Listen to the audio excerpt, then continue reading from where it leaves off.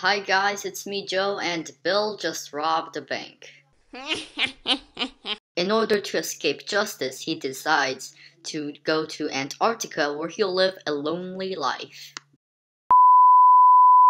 Now that Bill has gone to live in a more socially isolated environment, what will happen to him? We'll find out in this video.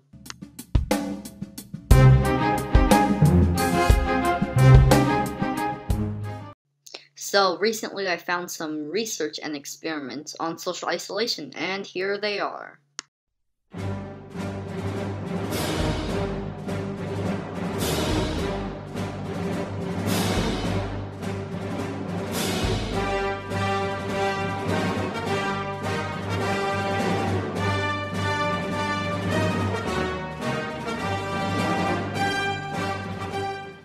Harry Harlow would take newborn baby monkeys away from their mothers and put them in solitary. The monkeys were often depressed and in the state of emotional shock.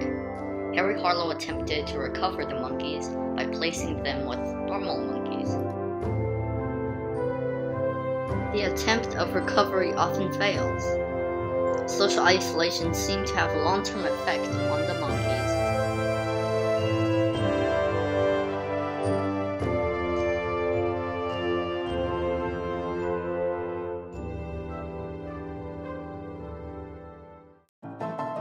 Around the 1950s, Dr. Hebb conducted a crazy experiment on the effects of social and sensory isolation. The experiment was supposed to last for a week, though most test subjects didn't even last a day. Test subjects experienced extreme hallucination. One man said he could see nothing but dogs. The other said he could see nothing but various types of eyeglasses. After the experiment, the subjects performed poorly on academics, had weak emotions, and some even still experienced vivid hallucination. The effects of the experiment had a long-term effect on the subjects. Sarah Shourd was a hiker who crossed the border into Iran and was accused of spying. She was then sent to a solitary prison. She experienced extreme hallucination in the prison.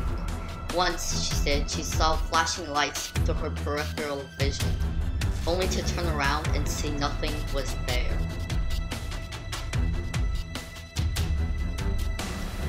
According to psychiatrist Terry Kupers of the Rights Institute's research, solitary confinement can make the subjects become anxious, angry, hallucinate, have dramatic mood swings, and even become suicidal.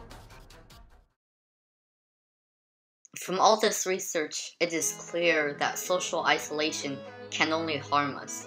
It can make us depressed, angry, anxious, lower our immunity, make us suicidal, and in some cases, even kill us. After all, we are social creatures. From the beginning of our existence, we realize the importance of socializing and working together. Despite the fact we have high technology nowadays, there are still people who are socially isolated. So people, stay connected, work together. And thanks for watching. Goodbye!